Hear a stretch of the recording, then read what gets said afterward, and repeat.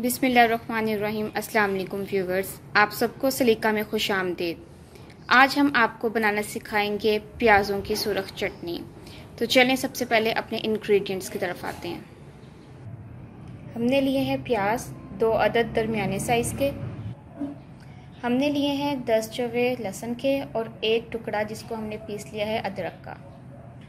हमने लिया है नमक एक खाने का चम्मच, सुरख मिर्च पाउडर दो खाने के चम्मच और कुटी हुई सूरख मिर्च आधा खाने का चम्मच। जी तो व्यूवर्स प्याज़ों की इस सुरख चटनी को बनाने के लिए हमने ली है मट्टी की कुंडी, क्योंकि इसका जो टिपिकल जो इसकी रेसिपी है, वो यही है।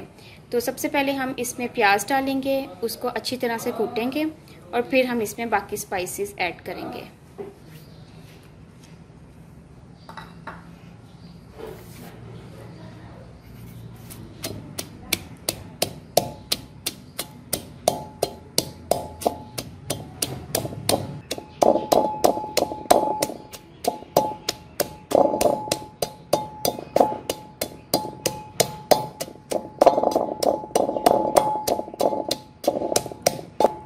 जी तो व्यूवर्स हमने थोड़े से जो प्याज़ों को कूट लिया है, अब हम इस स्टेज पे इस पे लहसन और अदरक डाल देंगे।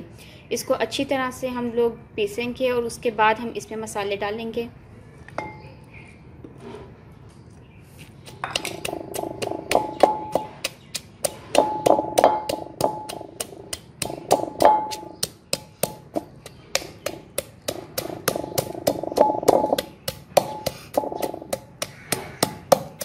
ये ब्लेंडर में भी बन सकते हैं, लेकिन इसको जो है असल मज़ा इसका इसी में ही है कि इसको कुंडी डंडे की मदद से ही पीसा जाए। जी तो व्यूवर्स प्याज़ों को हमने अच्छी तरह से कूट लिया है। इस स्टेज पर हम जो अपने स्पाइसेस हैं, वो ऐड करेंगे। रीज़न ये होती है कि नमक पानी छोड़ देता है, इसलिए हम इसको सबसे एंड पर इसमें डालते हैं। हमने नमक, सुरख मिर्च पाउडर और कुटी हुई सुरख मिर्च ली थी।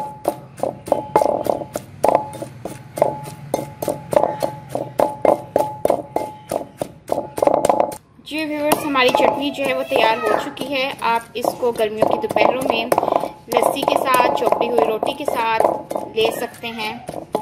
ये चटनी इतनी लजीज बनती है कि आपको इसके साथ किसी भी किस्म के सालन की ज़रूरत नहीं होती। तो चलें, हमारी चटनी तैयार हो चुकी है। अब हम इसको एक प्याले में निकालते हैं। जी तो व्यूवर्स हमारी प्यासों की चटनी सुरख तैयार हो चुकी है। गर्मियों में इसको इस्तेमाल करें, क्योंकि ये क़वत मुदाफ़ियत को बढ़ाती है। वबाई अमराज में भी ये बहुत मुफीद है। हमने आपको दिखाया कि किस तरह से आप इस चटनी को प्रेजेंट कर सकते हैं। आप रोटी बनाएँ, उसको देसी घी से चौपटे, साथ लस्सी बनाएँ और इसका मज़ा दोबारा करें। उम्मीद है आपको ये रेसिपी बहुत अच्छी लगी होगी। कैसी लगी, एक दफ़ा ट्राई करके कमेंट्स के ज़रिए हमें अपने व्यूज़ ज़रूर दीजिएगा। अपना ख्याल रखिएगा नेक्स्ट वीडियोस तक के लिए अल्लाह हाफिज़।